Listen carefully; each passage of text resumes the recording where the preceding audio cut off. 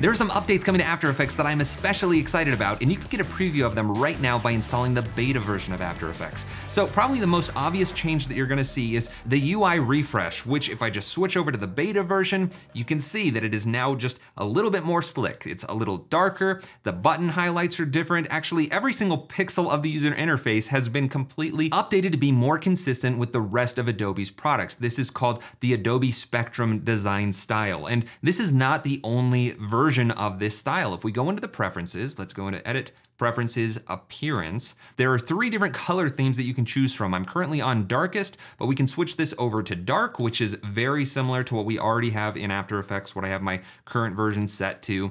And there's also light, which you might need some sunglasses for. It's just awful. I do not want to ever see this again. It reminds me of the first time I used After Effects.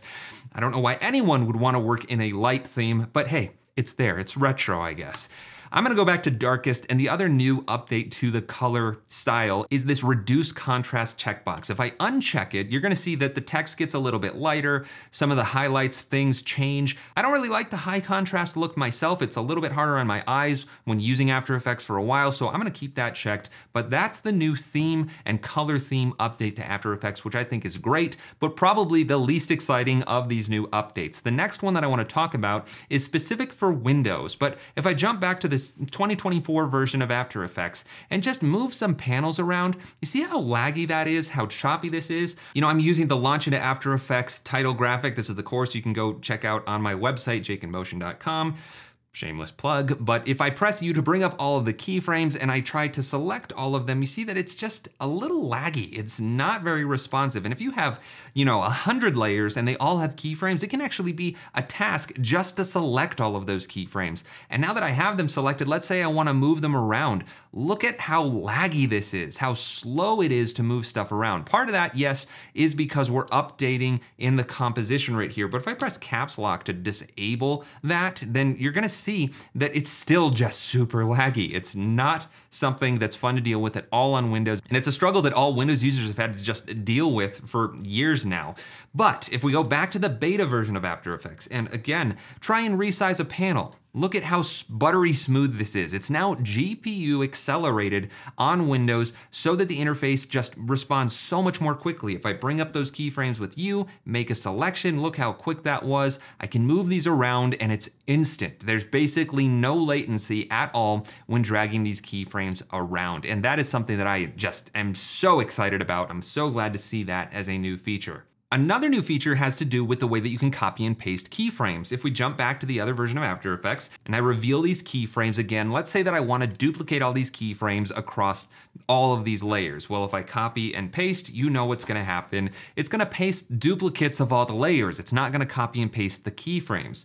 Now, this is actually a feature, if we jump back to the beta version, that was introduced back in December. I just haven't covered it yet, and there's a new update to it. But with all these keyframes selected, if I copy and paste, it's going to paste the keyframes across the layers, not duplicate the layers, which is awesome. But if I undo and go up to the edit menu, there's now a paste reversed keyframes option. If I paste there, then it's going to mirror all of those keyframes across time. So this is gonna be a really quick and easy way built into After Effects to be able to reverse your animation. Maybe you have text coming in and then you want it to go out. That's exactly what this is gonna enable you to do. And because it's built into After Effects menu, if I go up to the keyboard shortcuts, I can assign it to a keyboard shortcut shortcut. So I'll search for reversed keyframes. There we go, paste reversed keyframes and you know, control V is paste. So why don't we say control shift V and see that's set to hide other layers video. I don't think I've ever used that function, so I'm gonna go ahead and just make that the keyboard shortcut, control shift V, click OK, and now we can just do that, Control Shift V, and it's gonna paste reversed keyframes. I think that's a huge quality of life improvement to After Effects and something I'm really excited about. Let me know down in the comments what you think of these new features. This is obviously a beta version of After Effects. There might be bugs. If you're on a Windows machine and maybe your GPU isn't cooperating with the new user interface refresh, let the devs know. Tell them which GPU you're on, what version of Windows, all that good stuff so that they can diagnose the issue and get it ready for the public release. I am really excited about these these new features, but let me know down in the comments what you wanna see changed about After Effects next. Thank you so much for watching this video. Let me know if you wanna see more feature updates like this one. I hope you have a fantastic day, and I'll see you in the next one.